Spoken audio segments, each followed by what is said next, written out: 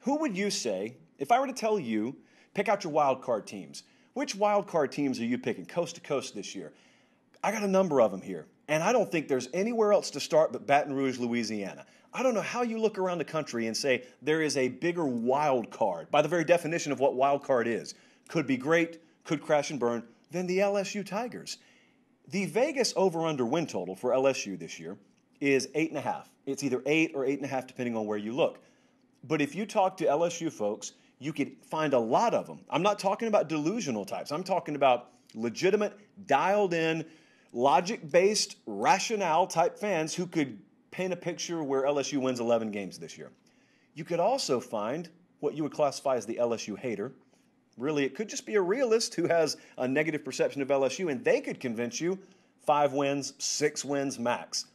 Both of these exist in the prediction world about the 2021 LSU team. It's talent versus team. That's what it's all about with LSU this year. That's what it was about last year. When they got run out of their own building by Mississippi State in week one, I sat right at this desk and I said, There was only one football team yesterday. Sure enough, there was a collection of talent on the field for LSU. It didn't resemble a team. Whatever that cohesiveness is, whatever that intangible is, sort of the, the, um, oh man, Colin, what's the, you know what? I've never laid brick before and it's embarrassing because I tried to go down that road. Listen, the stuff that holds the bricks together, the mortar, it's not mortar, is it? Anyway, they didn't have that. They didn't have that gel, that cohesiveness. Will they have it this year? Because here's the assumption that's being made.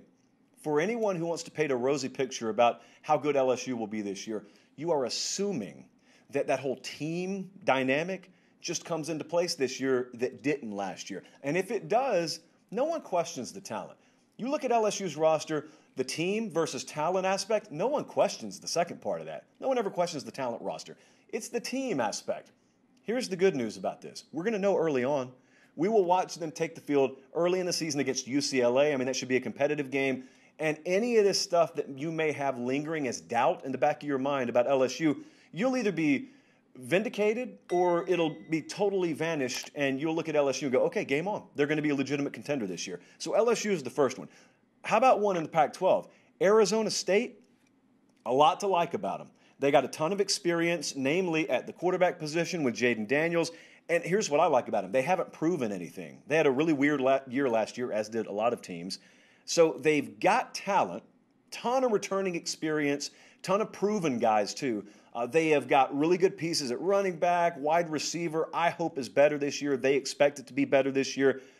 But I'll tell you one thing that I don't think you realize unless you dive into Arizona State, and that is when you look at their offensive line and you look at their running back position, they don't have to live and die by the 30 yard pass. They really don't. They could play a different brand of football than maybe you expect when you turn on an Arizona State game, and I think they could win. This team could make the college football playoff this year. This team could lose four or five games this year. That is the definition of a wild card. But I'll tell you what I really love about them. They didn't worry when they hired Herm Edwards about what anyone else was going to say. Because a lot of people had a lot to say when they hired Herm Edwards. Well, they stuck behind their conviction and they hired him. And then Herm Edwards did his part and brought in a really good staff out there. They've had a vision, they've never strayed away from it, and now they've put together a really good product. And it could be one of those delayed gratification situations we've talked about with other teams where, for all we know, the pieces and the dynamics were in place last year. It got the rug pulled out from under it, and maybe this year is where a lot of that is validated. Arizona State's the wild card team in the Pac 12. I think it's Minnesota when you go to the Big Ten. I had trouble here because I wanted to go a few different ways. I can't, in good conscience, say that Wisconsin is that team because Wisconsin's on everyone's radar, and I don't think there's a lot of variance with them. In other words, I couldn't see Wisconsin going seven and five. I could see it with Minnesota. I could also see Minnesota popping. Minnesota's a really dangerous team this year. And on a scale of you know one to ten, when it comes to the misleading scale from 2020, I think 2020 was really like a 9.5 misleading for Minnesota. They had a couple of games postponed. I think they played one game. Colin, we talked about this with like 33 starters out, or 33. it's kind of hard to have 33 starters out. 33 guys out.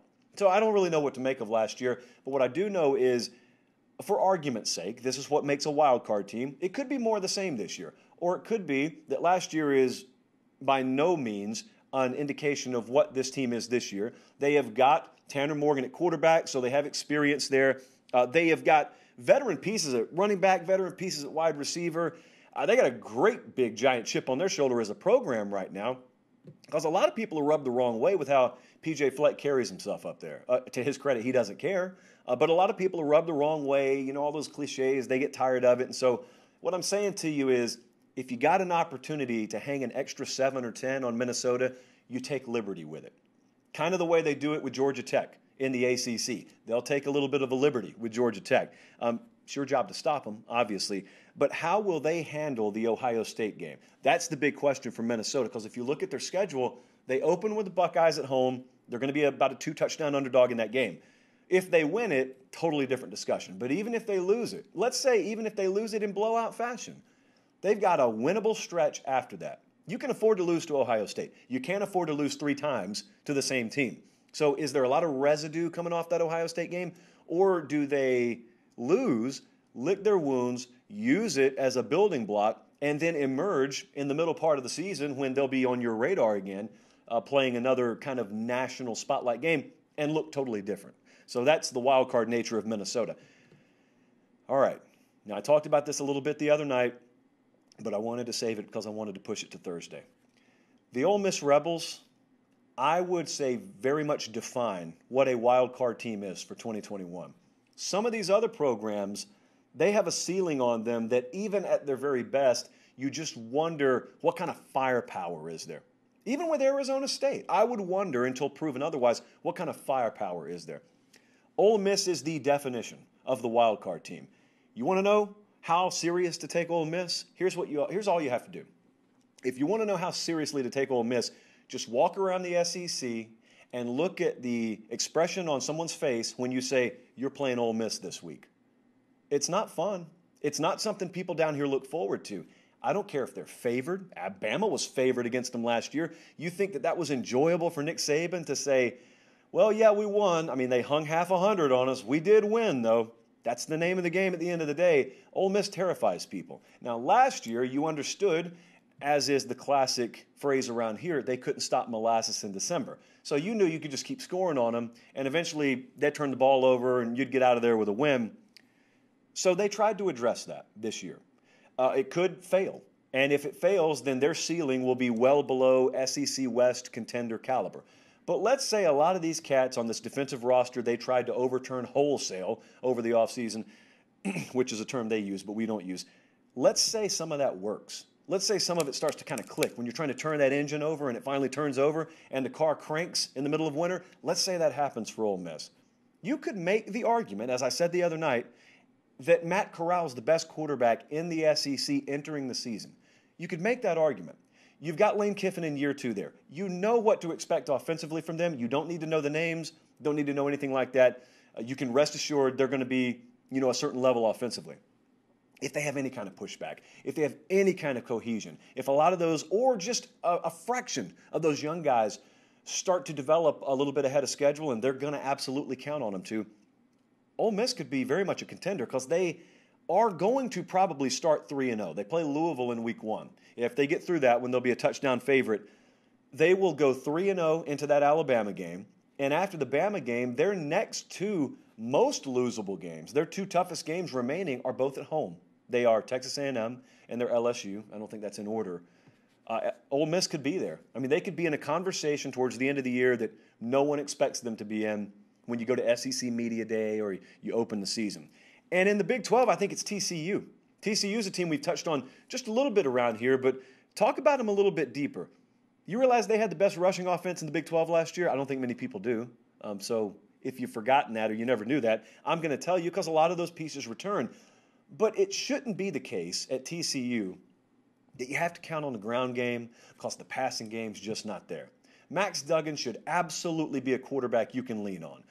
Their wide receiver unit, and it's spearheaded by a, a stud there this year, that absolutely should be a passing game you can lean on. Offensive line failed them horribly last year. If they get even marginal improvement from that unit, this should be an offense that's able to surprise people this year. And if that happens, Far be it from me to ever predict that defense is what's going to be holding TCU back. I know they got some questions at linebacker. I think they'll solve them. Let me just say that. And so their first four games, if you if you start to buy into TCU a little bit, their first four games, Duquesne, I've always called them Duquesne. It's going to be a W to start the year. Then they play Cal. Then they play SMU. Then they play Texas. You notice I didn't say they go to any of them. They got four home games to start off with. They eventually go to Oklahoma. They eventually go to Iowa State, but that's on end of the year. We'll know what they are by then. So those are the wild card teams that I see in college football this year. LSU, Arizona State, Minnesota, Ole Miss, TCU. One of these teams, maybe a couple of them, at least one of them, is going to be in the playoff mix come season's end. A couple of other ones are going to be just total tire fires, and we will look at this segment and say that we were both dead on the money and off horribly. That's the nature of the wild card segment.